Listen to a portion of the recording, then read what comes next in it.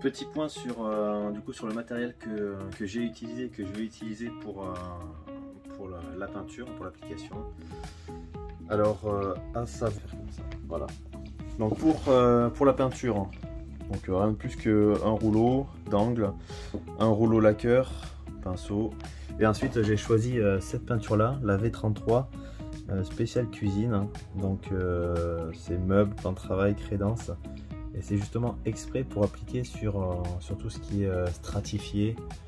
Euh, donc voilà, apparemment ça devrait tenir.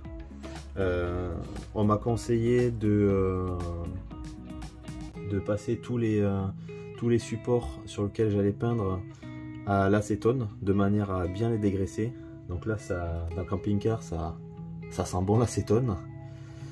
Et euh, puis voilà, et après un léger ponçage, surtout euh, j'ai axé sur tout ce qui est matière euh, plastique, notamment ici là, euh, les champs, tous les champs de, de, panneaux.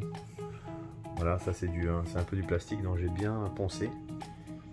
Et puis voilà, en espérant que ça fasse le job. Voilà.